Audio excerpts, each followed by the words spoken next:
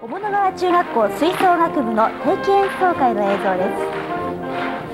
今年で33回を数える小野川中学校吹奏楽部の定期演奏会が先月30日に開かれました。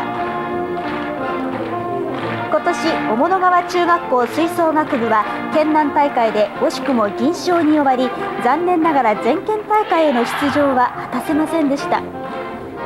3年生にとってはこの日が中学校最後の演奏会となります3年間のクラブ活動の思い出を胸に涙を流しながら最後の曲「テキーラ」を演奏する部員たちに会場からは大きな拍手と声援が送られていました。